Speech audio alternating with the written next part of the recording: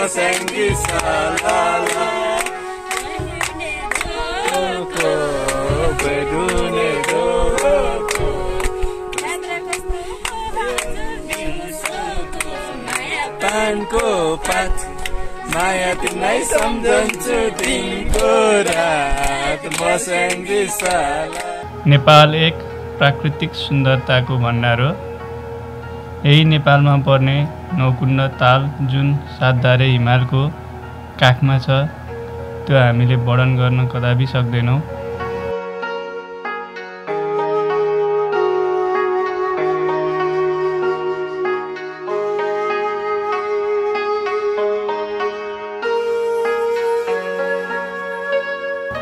यही नौकुण्ड तालबाट रसुवाको एउटा गाउँपालिकाको नामकरण नै नौकुण्ड गाउँपालिका राखिएको छ। सम्भावना नै सम्भावना बोकेको तर पर्यटन हिसाबले रसुवाको पिछडिएको गाउँपालिका नौकुण्ड गाउँपालिका हो। त्यसैले पर्यटन विकासको लागि यस गाउँपालिकाले नुवाकोट दरबारलाई बेस बनाई सरमथली पाटीखर्क पार्च्याङ विशाल मैदान लार्चङटार यार्सा सिम्बन्दी हुँदै दोक्लाङसम्म र उत्तरगया धामलाई बेस बनाई अम्बाबास घोर्ले चित्ती सर्स्युङ आरुखर्क आरुखर्कभन्दा माथि जुरेढुङ्गा लाङ्गु थाङदोर सिम्बन्दी हुँदै दोक्लाङसम्म दोक्लाङ चाहिँ सरमथली र अम्बाबासबाट आउनेको जक्सन पोइन्ट हो र यही दोक्लाङबाट हामी देउराली हुँदै बालुवा बक्सर बालुवा बक्सर हुँदै हामी रमणीय स्थल नौवटा तालले घेरिएको नौकुण्ड ताल हुँदै गोसैकुण्डसम्मको पर्यटन पदमार्ग विकासको लागि डिपिआर टोली सहित पुगेका छौँ।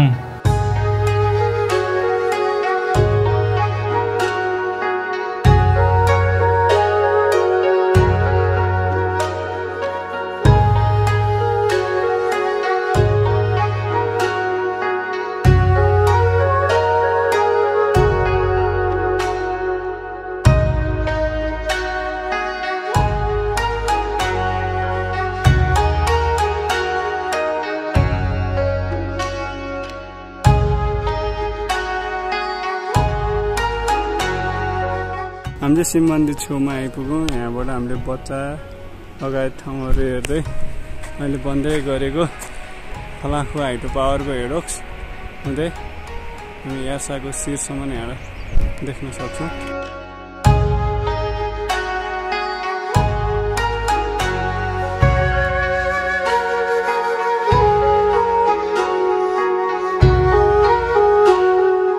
देउराली आइपुग्दैछौँ। पुरो दाई ठिक छ नि। हाम्रो यात्रा निरन्तर छ। बाल्य बक्सर करिब पैँतिस सय मिटर हाइटमा आइपुगेका छौँ। हामीसँग अब प्रमुखजी हुनुहुन्छ। हामी करिब बाह्र तेह्रजनाको ग्रुप मान्छेहरू छौँ। पर्यटन प्रबन्धको लागि चाहिँ हामी नौकुण्डदेखि गोसीकुण्डसम्मको यात्रा गरिरहेको छौँ।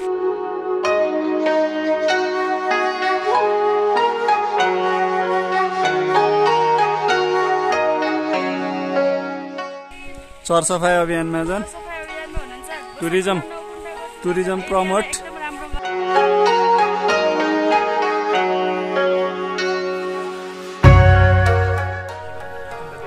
अहिले हामी करिब नौकुण्डको वरिपरि आइपुगिसकेका छौँ।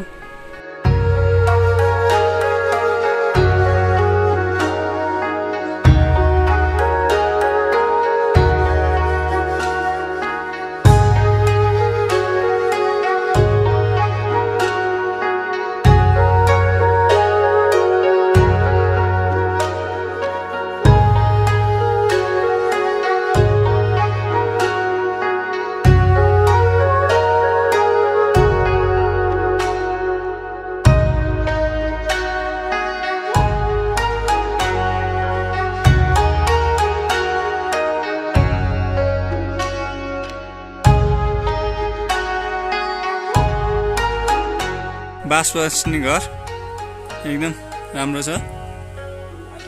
यहाँ च्याङ्रा भेडाहरू टन्नै छन्।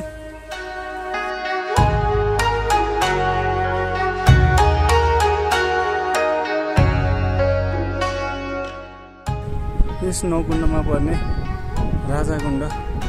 राजाकुण्डबाट हजुरहरू थोरै माथि गएपछि अनि रानीकुण्ड आउँछ। आइपुग्छ। बाटोको लागि सर्वे गर्दै हिँडिरहेका छौँ। हामी नौवटा तालमध्ये तिनवटा ताल आइपुगिसकेका छौँ।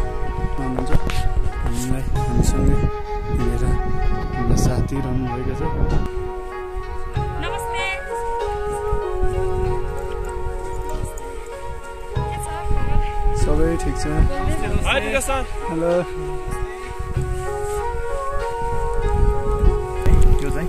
राजाकुण्ड यो दोस्रो चाहिँ राजाकुण्ड चाहिँ बयालिस सय साठी मिटरको हाइटमा छ। र यो चाहिँ तेस्रो चाहिँ रानीकुण्ड हो यसलाई चाहिँ अब त्रिचालिस सय मिटरको हाइटमा छ भने पहिलाको चाहिँ यहाँ लोकल स्थानीय भाषाअनुसार त्यसलाई चाहिँ टेम गे भन्छ। हजुर सर। टेम गे भनेको चाहिँ के भने भित्तामा एक स्टेप माथि भएको गे पोखरी हो त्यो चाहिँ। गे भनेको पोखरी हो टेम भनेको एक स्टेप माथि भने हो।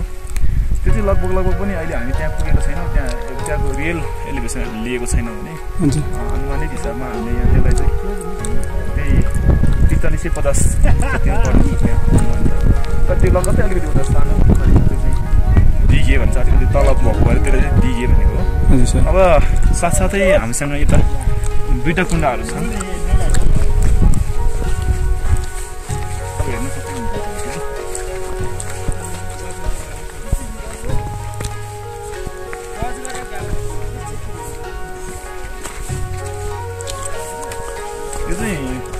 वास्तवमा कोही कोही मान्छेले गङ्गा जमुना कुण्ड पनि भन्छन् होइन गङ्गा जमुना कुण्ड पनि भन्छन् तर यहाँको चाहिँ स्थानीयले बोल्ने भाषा भनेको चाहिँ नाम भनेको चाहिँ पोदप गे हो पोदप गे भन्नुको कारण चाहिँ तपाईँ देख्न सक्नुहुन्छ हाम्रो तामाङ भाषा अनुसार कोदप भनेको चुलो हो सर है कोदप गे भन्नुको कारण किन चुलो कुण्ड भनेको चुलोको जस चुलो जस्तै कुण्ड भनेको यहाँ तिनवटा ढुङ्गाहरू छ यता यो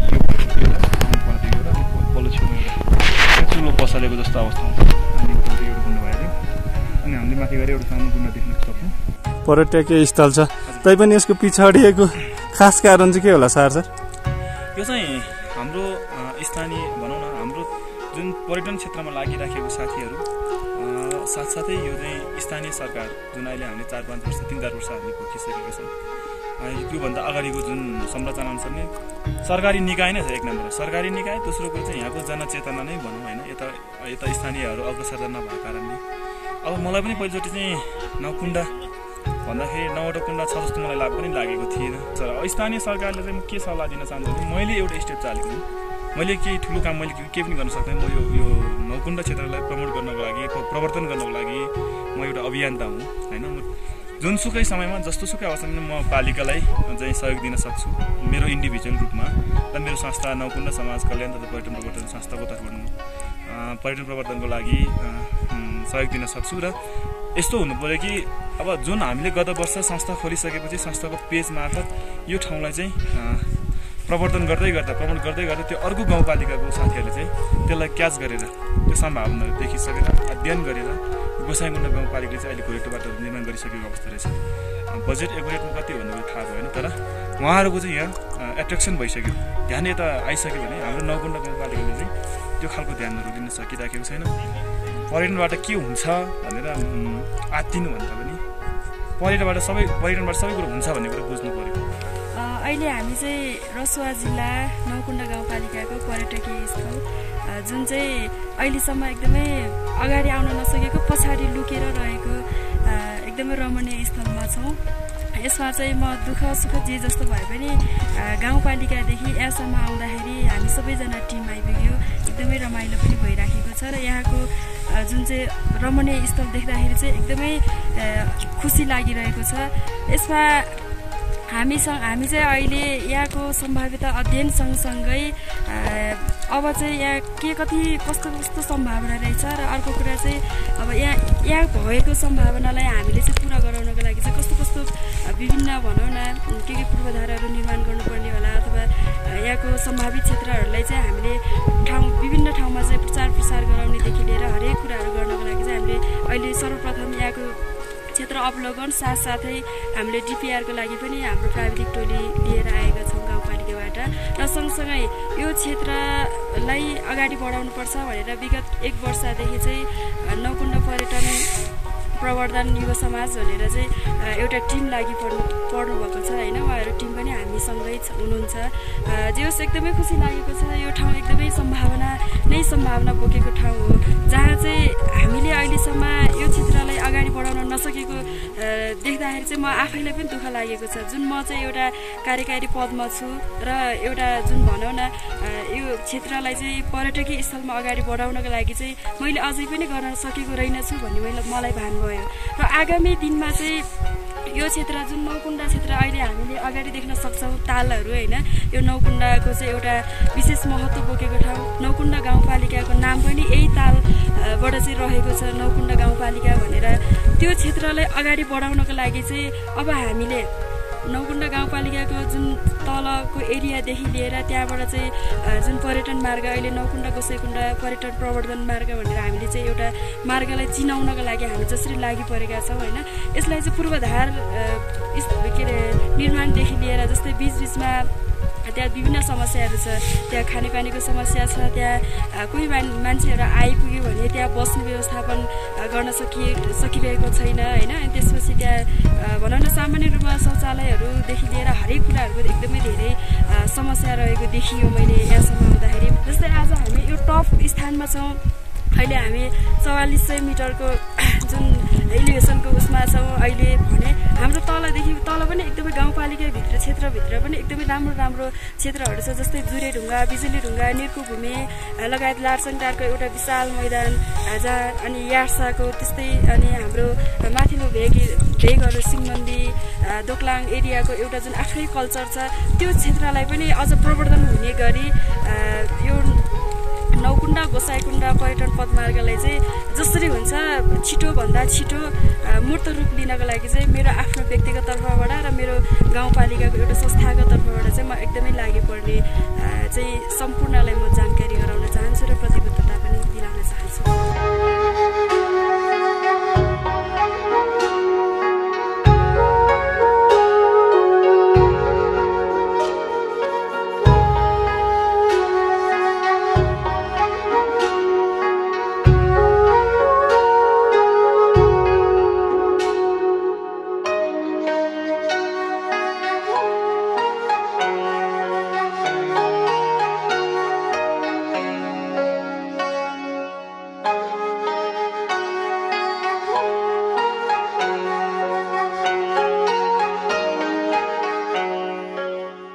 नौकुण्डबाट निरन्तर यात्रामा भैरवकुण्ड आइपुगेका छौँ।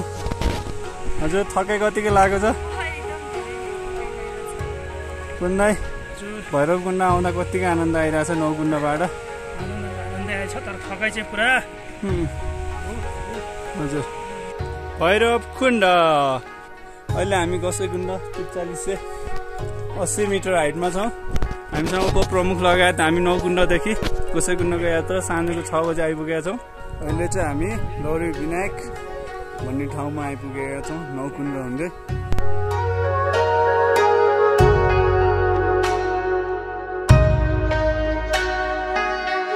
हाम्रो यात्रा कस्तो रह्यो त समग्रमा भनिदिनुहोस् न त। एकदम एवान गयो हजुर। हामी